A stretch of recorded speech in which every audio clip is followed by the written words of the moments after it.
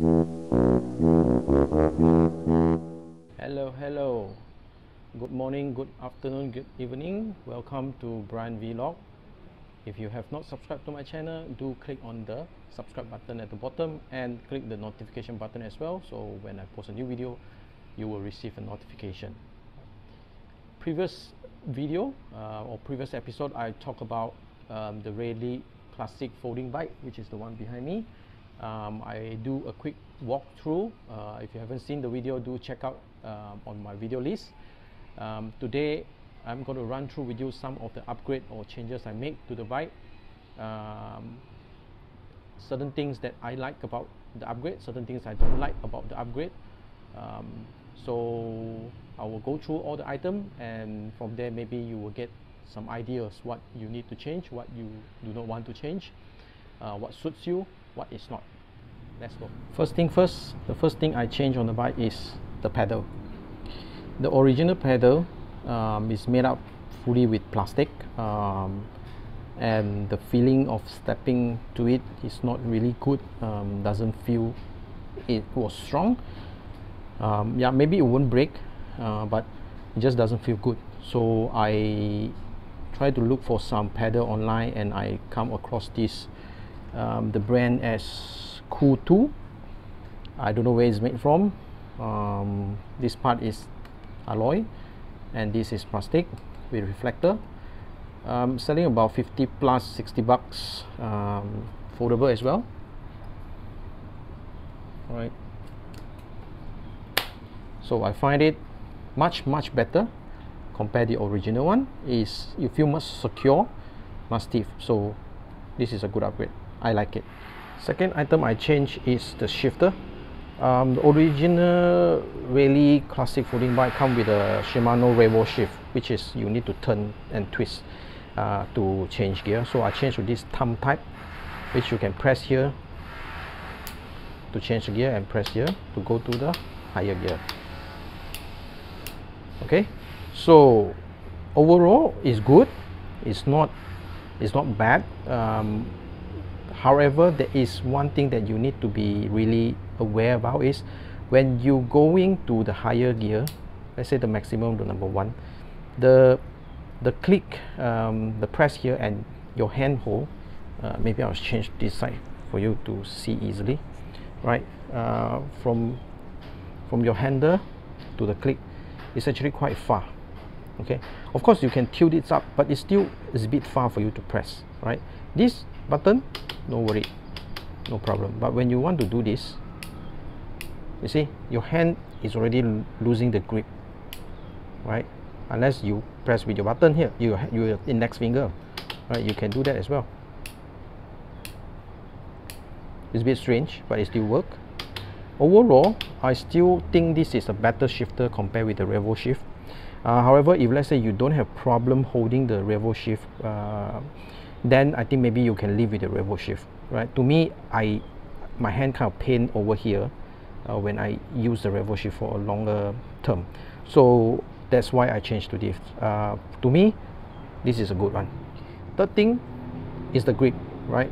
So since I changed to this index uh, or finger type of shifter um, you need to change to the better longer grip because the original Revo shift uh, with the with the with the grip is actually this short so it's not suitable. So you need to change this one. This one is from Litepro.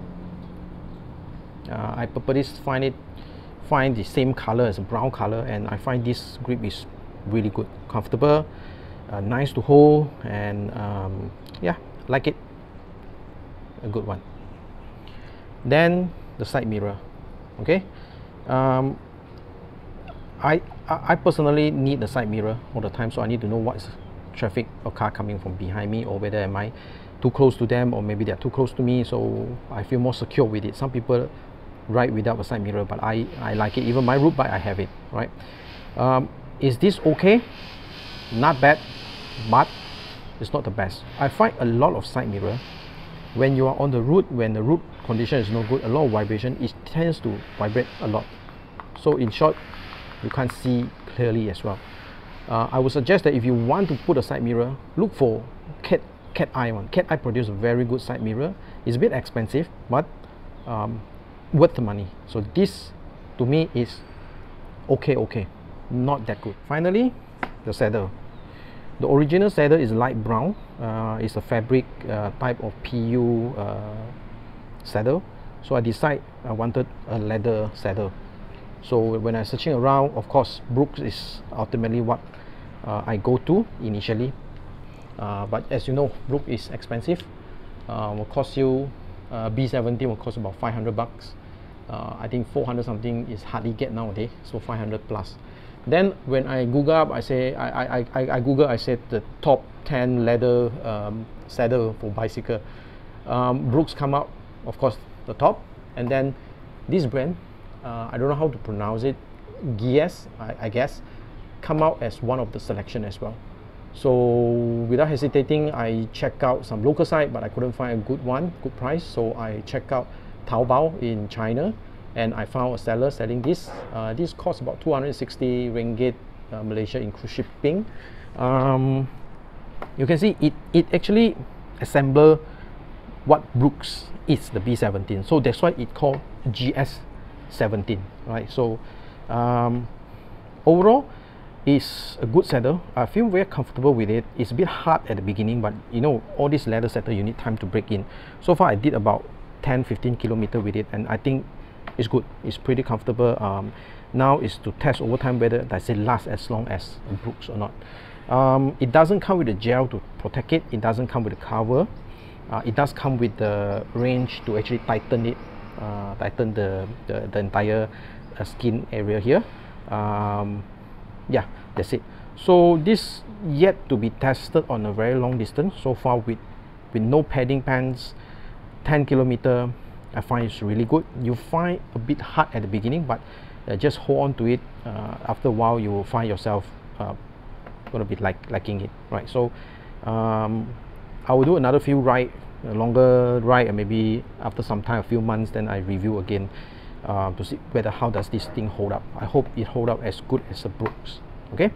So that is it for the upgrade so far. Okay here you go on episode number two. I hope the information uh, I share uh, is useful for you. So before you do any upgrade to your folding bike either it's a Raleigh folding bike or any folding bike uh, do put some of the comment I gave into consideration. Uh, and last but not least if you have any comment or any upgrade that you do on your folding bike or on your Raleigh classic folding bike do also put in the comment at the below.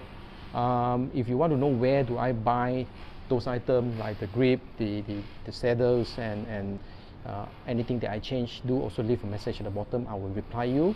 Uh, I do not want to put in my uh, link put the link on the on the description area because uh, I'm not I'm not their affiliate. I didn't sell things for them. It just so happened that I just want to share my experience. So do put your comment below and I will I will reply you as soon as possible.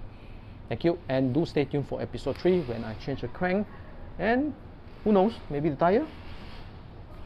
And also I'll update some ride that I did uh, throughout this uh, year end where I will have have to clear some of my leave uh, I will make some trip with the folding bike 拜拜、